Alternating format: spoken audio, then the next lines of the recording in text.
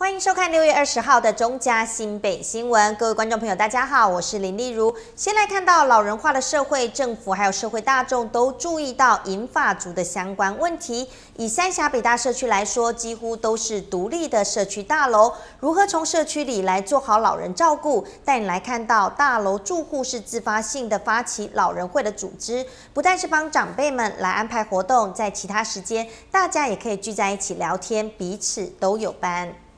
我这个，他给我讲的就一个招了很多人来，这老人家都都八十几岁了。那你们当初有讨论过说，为为什么要去成立这个老狼会吗？对，因为老人家聚会一下，有什么聚餐啊、聚会啦，啊那个那个那个里长都讲了，主委也讲了。兴高采烈说着社区老人会成立的故事。陈文雄号称是永远的会长。八年前，这些老人家陆续搬入三峡北大社区的集合式大楼居住。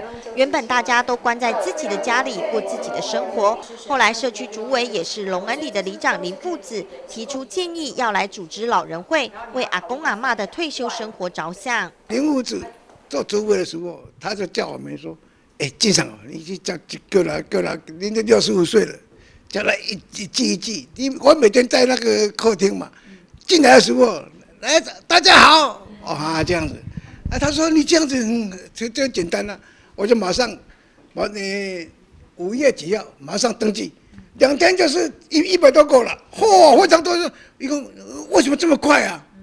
我说没没没办法，啊然后一个谢先生他说，哎经常你转领导也比赛哦，啊他他说早上。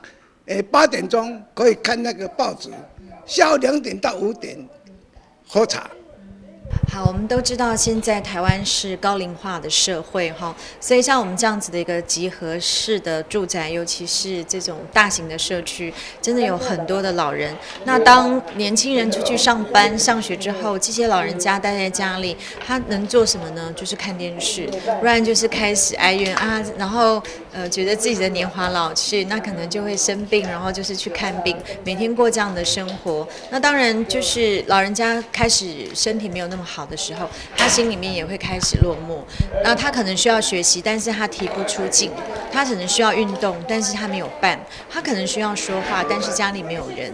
那长期以来，老老人家就会越来越衰衰老。所以他必须要有同伴的同柴的刺激，好，大家彼此学习。所以当时呢，我们就是希望说，哎，社区有这么好的一个空间，那平常是闲置的，那应该是开放给这个老人家来使用。老人会成立了，老人家可是很开心的聚在一起，除了聚餐，还有举办很多休闲活动，让他们年轻又乐活，而且大家彼此之间作伴、嘘寒问暖，这样的好情谊，真的让很多长辈把这里当成第二个家。没有上来的时候，我就问一下，哎哎，这个警卫说什么人不不乱，我就去按电铃，再看一下，他们就看到我很高兴。你先增加的另外面那八九十几岁，看到我一定给我给给给我，我不管男女老幼，不管他是中风了什么的，我我就是这样子。所以邻居其实尤其是老人爱有伴嘛。对对，老人伴的。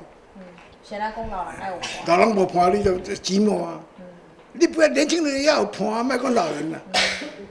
有伴能够聊天啊，讲讲咧，食茶开讲啊，时间比较好过啊，对不对？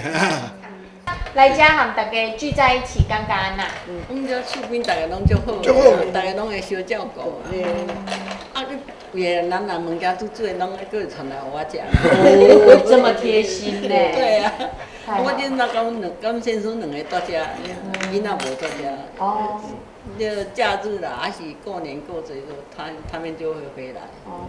所以啊，无在厝边其实嘛就够多啊。啊。我们早上啊，两拢做运动。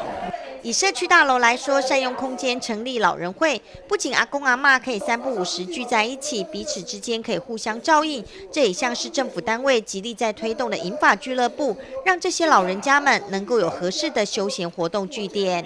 中嘉新北新闻三峡采访报道。